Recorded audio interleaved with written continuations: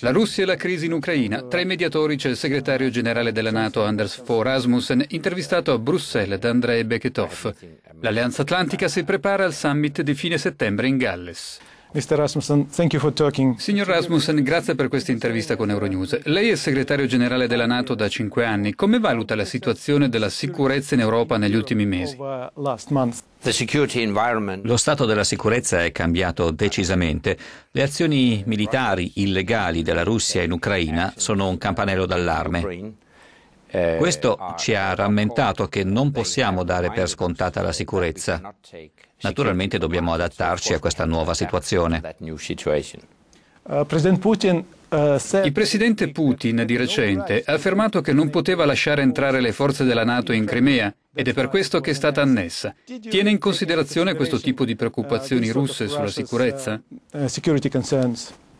Yeah, but we have never had any intention to deploy NATO troops uh, to uh, Noi non abbiamo mai avuto l'intenzione di dispiegare soldati della NATO in Crimea, quindi è una scusa molto sbagliata per giustificare l'annessione illegale e illegittima della Crimea da parte della Federazione russa. Non ci sono scuse. La Russia ha compiuto una violazione lampante di tutti i propri impegni internazionali e anche dei principi fondamentali della cooperazione NATO-Russia. Nota ancora il coinvolgimento della Russia nell'est dell'Ucraina? Come valuta la situazione di stallo armato in quella regione? Uh, uh,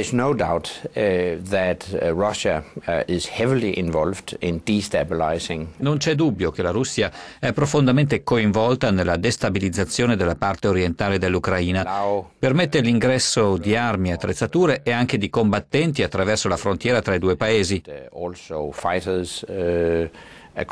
Um, uh, Chiediamo alla Russia di smettere di sostenere i gruppi separatisti uh, e esigiamo anche il ritiro dei suoi militari dal confine. Di recente abbiamo osservato un nuovo consolidamento della presenza militare russa nella regione frontaliera. Uh,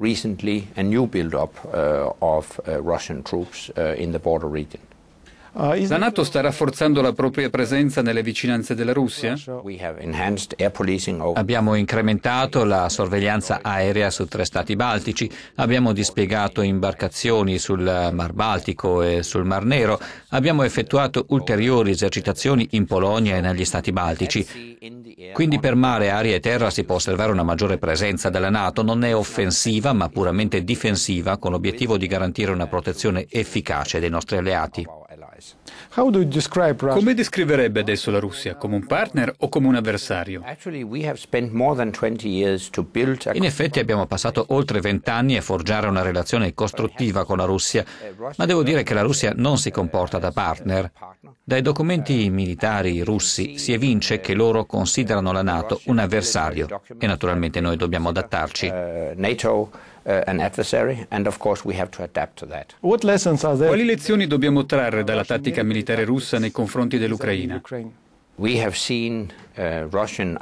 Abbiamo visto che le forze armate russe agiscono molto rapidamente. Abbiamo visto forze più moderne rispetto a quelle che hanno attaccato la Georgia nel 2008 e questa è la ragione per la quale esorto gli alleati della Nato a aumentare la spesa per la difesa e ad accelerare la modernizzazione delle nostre forze armate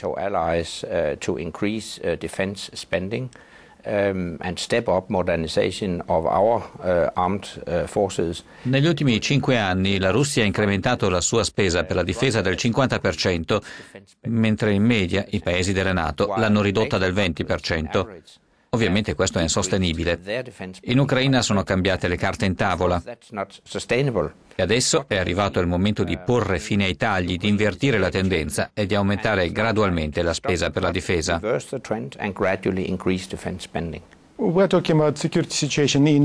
Stiamo parlando della situazione della sicurezza in Europa. Che tipo di minaccia lei crede provenga dagli insorti sunniti che hanno conquistato parti dell'Iraq e della Siria? Cosa deve fare la NATO? And what uh, is there for NATO to do about it?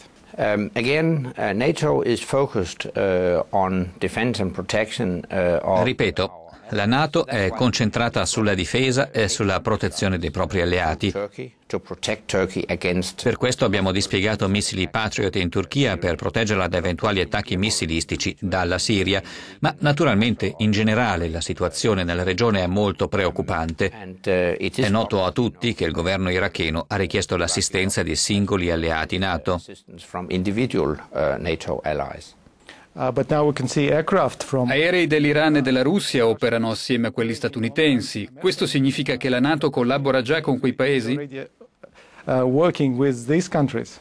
Uh. Um, it's not NATO as an alliance, but individual uh, NATO allies uh, are um, uh, engaged. Uh, uh, non si tratta di un impegno della NATO in quanto alleanza, ma di singoli Paesi membri. Quello che notiamo ora è quanto la comunità internazionale, in quanto tale, è preoccupata per questa situazione e per la diffusione dell'estremismo e del terrorismo. Questo richiede una risposta unificata della comunità internazionale al di là delle tradizionali linee di divisione. L'ultima domanda riguarda lei come segretario generale uscente della Nato. Qual è il suo principale risultato? We have um, a stronger, a fitter and faster uh, uh, NATO. Um, Abbiamo una Nato più forte, più adeguata, più veloce. Nonostante i tagli ai budget per la difesa, si può notare un'alleanza più forte. Grazie alle nostre operazioni in Afghanistan, Kosovo e altrove, le nostre forze armate adesso sono abituate a lavorare assieme e a cooperare. Sono più saldamente connesse che mai e più pronte a combattere. Uh, Allo stesso tempo abbiamo investito in nuove capacità. Tra le altre cose abbiamo cominciato a costruire la difesa missilistica. Abbiamo deciso anche di rafforzare la nostra difesa cibernetica. Quindi, nel complesso, direi che abbiamo bruciato i grassi e costruito i muscoli. Per cui oggi vedete una Nato molto più forte. Okay, thank you very much, Mr. Rasmussen, for interview. You're welcome. Yeah. Thank you.